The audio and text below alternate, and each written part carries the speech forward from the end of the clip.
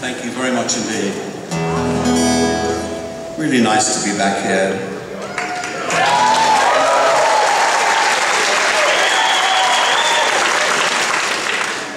For, people of my own vintage in this business, we're kind of presented with a, with a dilemma in our lives. And for me, you know, for the last, say, 40 years, I've been contemplating a ghost. And that's the ghost of myself.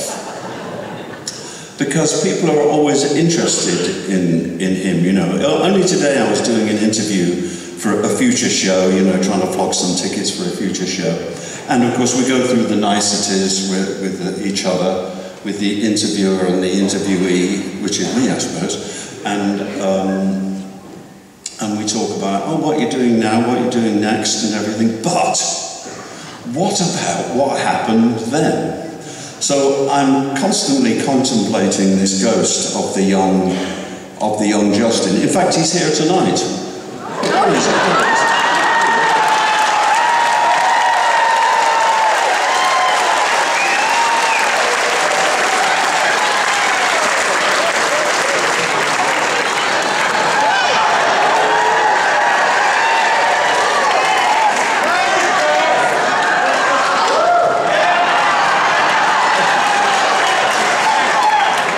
Turning around, I need to just see.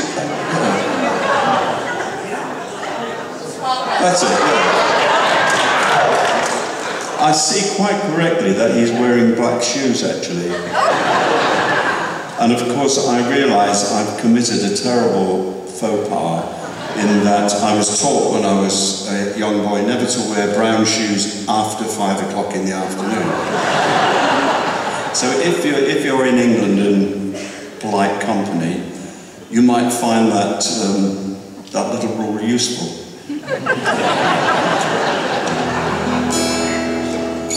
So in, this, in that kind of spirit, with him, with him around, I, uh, I've decided to just go down memory lane for a while.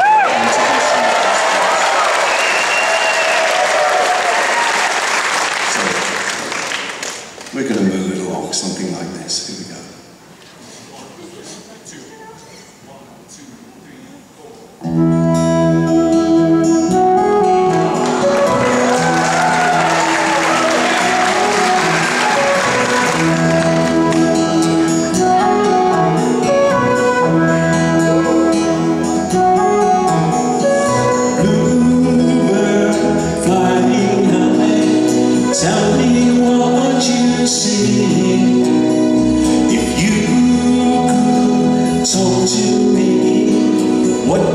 Would you bring?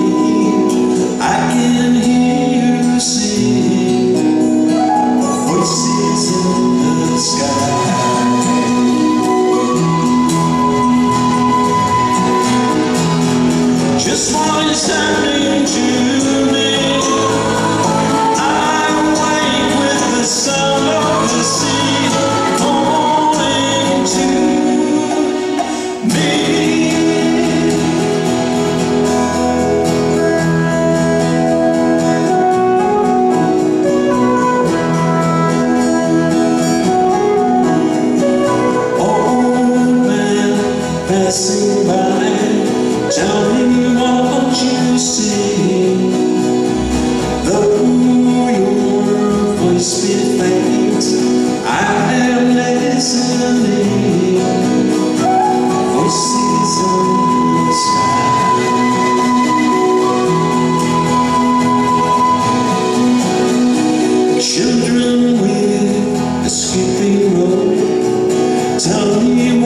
What you